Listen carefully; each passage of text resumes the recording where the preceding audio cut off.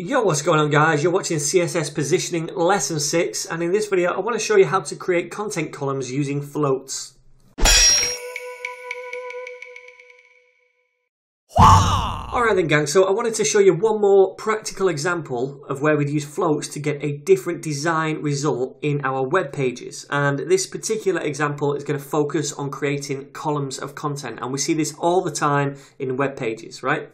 So what I'm going to do is underneath this content div right here, and by the way, this content div, I've just removed the background color and I've set the margin to 20 pixels top and bottom and 1% left and right. That's the only change I've made from the end of the last video. Uh, so if you want to do that to catch up, feel free. Then what we're going to do is put some more content beneath this. So what I'm going to do is create a new div with a class of columns.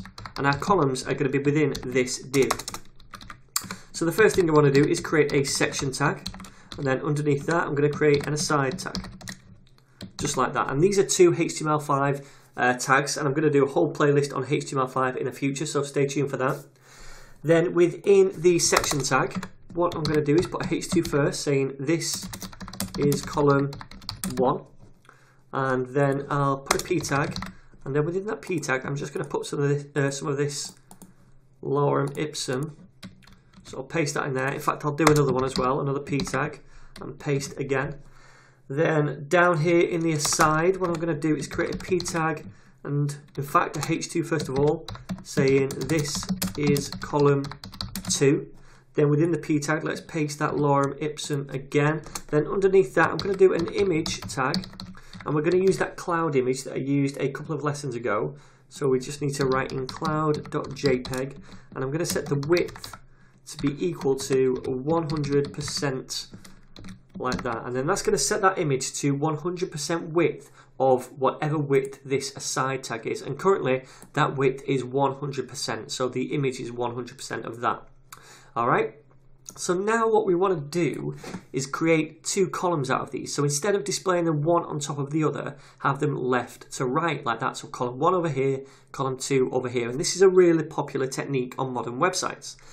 So let's do that right now. The first thing we want to do is grab the section and the aside right here in our CSS. And then what we're going to do is float both of these to the left. And nothing has happened yet. And that's because they're still 100% in width because they're block level elements. They're still occupying the full space. So we need to explicitly give them a width. And I'm going to set the width of both of them to 46%. And now they go side by side. The reason I've done 46% and not 50% each is because I want to use the remaining 4% on each element to give it some margin and padding. So I'll set the padding to 1% all the way around and the margin to 1% all the way around as well. And now it just spaces them out a little bit. Finally, what I want to do is give it a background colour of F2, F2, F2 which is a really light grey. You can probably just about see that there. And there we go, guys. We have two columns of content. Dead simple to do, dead quick, and like I say, really popular on websites. It just makes reading the content a little bit more easier.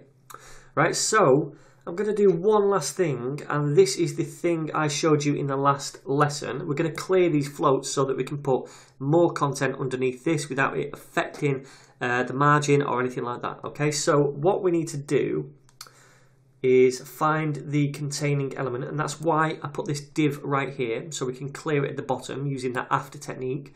So I'm going to grab this and go after that and say after. By the way, guys, I did this in the last lesson in case you missed it, so if you want to um, look at this into a little bit more depth, I suggest you go back to the last lesson and check that one out where we clear floats. So I'm just going to say display block. Uh, content is going to be an empty string. And then finally we're going to say clear both. So now when we put content underneath these two, it's going to resume normal document flow. All right. So that, my friends, is how we create columns of content using floats. If you have any questions whatsoever, feel free to comment down below. Otherwise, guys, don't forget to subscribe, share, and like, and I'll see you in the very next video.